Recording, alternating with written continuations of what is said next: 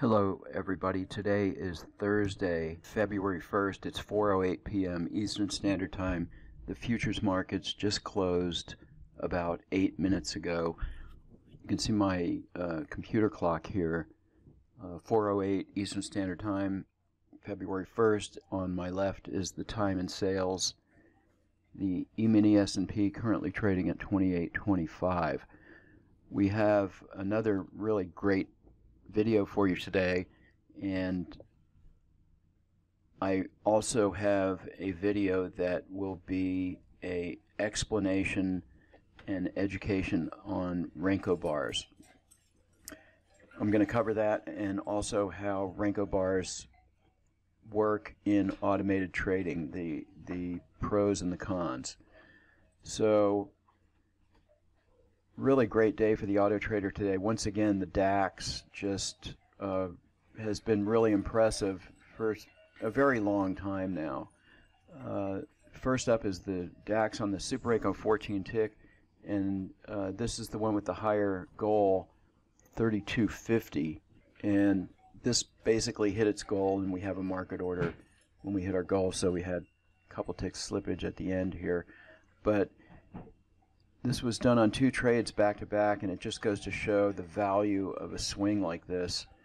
Uh, this swing, and then not even all of this swing, yielded 32.25 on just two contracts. So imagine if this swing went all the way to the end, it would probably be close to $5,000 or more. And then if we scroll on the chart forward and look at the size of these swings, there's just a tremendous amount of money in the DAX. Uh, a move like this, uh, if you caught this swing, is thousands of dollars on two contracts.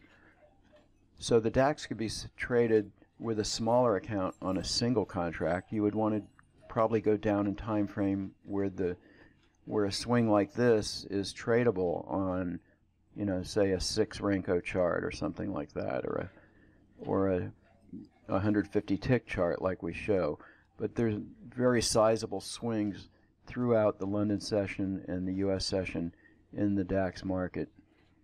So going back to our two trades here, uh, very, very nice back-to-back uh, trades hitting our goal uh, with no losers and no drawdown on this. Okay, next up is the DAX on a 150 tick Heikin Ashi chart and the goal on this is 2550 with a loss limit of 1500 that's a really good ratio. This did 2737 so we had extreme positive slippage on this. And you can see we probably had a push down here and uh, almost $200 in positive slippage. That's quite a bit. And once again almost $3,000 just on these two swings on two contracts. That's very very impressive. Two winning trades back to back on this DAX chart Okay, the DAX on the Super Renko 14 tick with a $2,000 goal also hit its goal. This one has tighter trailing stops. We can see that here. We got stopped out where the DAX with the larger profit goal went all the way here on this uh, trade. So, I, you know, I could change the stops here, but I have them different for a reason. There's sometimes where the tighter stops on this catches smaller swings, and this one hit, hits its goal, but the other one doesn't. But the reason I show all these different DAX charts is to show the versatility of the auto trader, also to show the great volatility in the DAX and how the auto trader can trade many different time frames in the DAX and still have positive results. Okay, next up is the NASDAQ on the 987 tick Heikin Ashi chart. And this uh, hit its goal of 1300 for the day on two trades. We had a very small loser. This didn't trade till late in the day here, and we drew down about $500. This is trading three contracts, and then we had this really nice short trade here.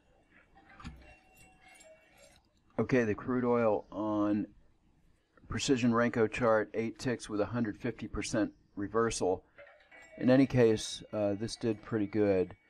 Our goal on this chart is a thousand, so we had a couple of ticks positive slippage.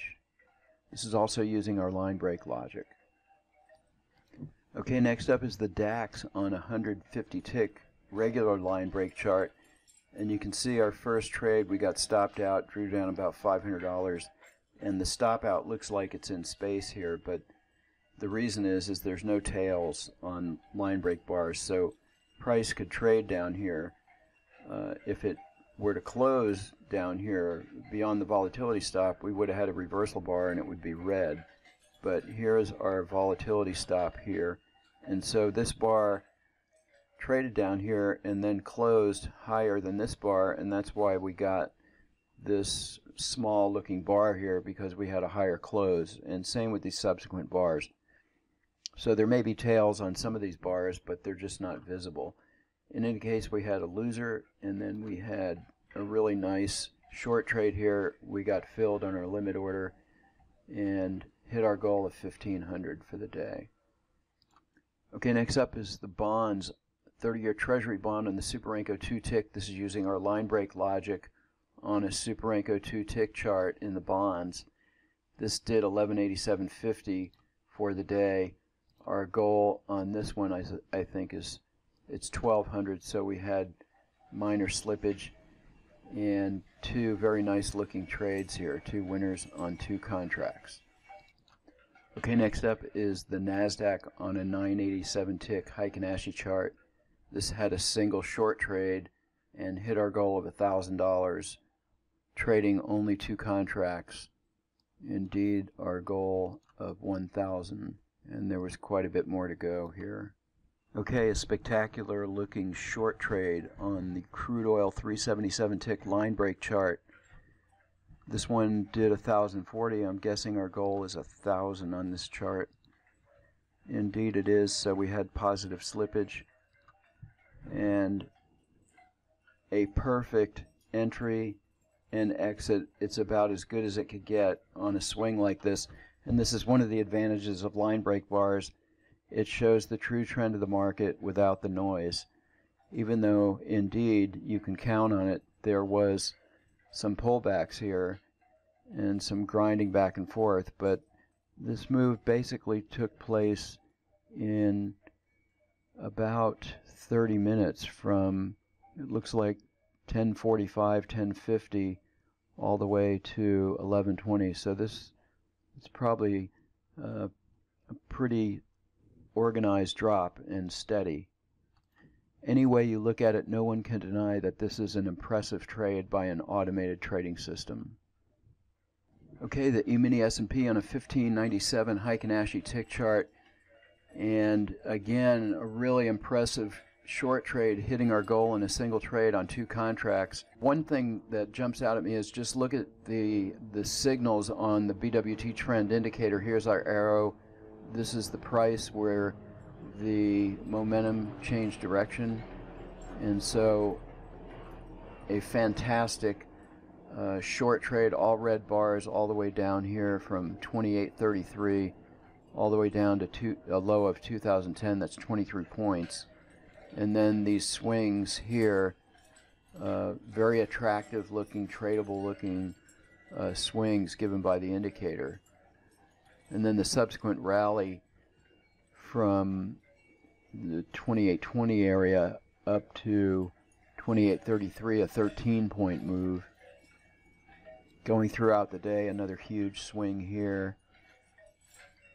These are all tradable swings uh, given by the indicator, and certainly you could potentially refine these signals even better just with the indicators back to the trade on this chart.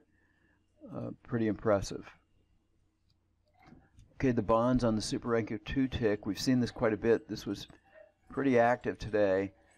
Only drew down a little bit off the open, about $130, nothing major.